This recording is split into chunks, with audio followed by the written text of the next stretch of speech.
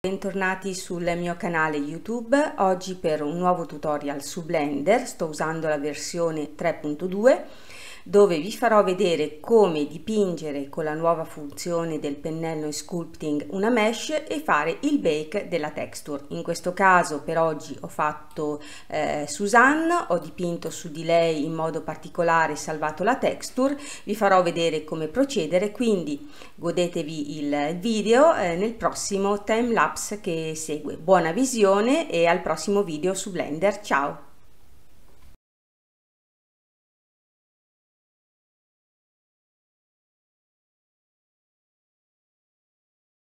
Thank you.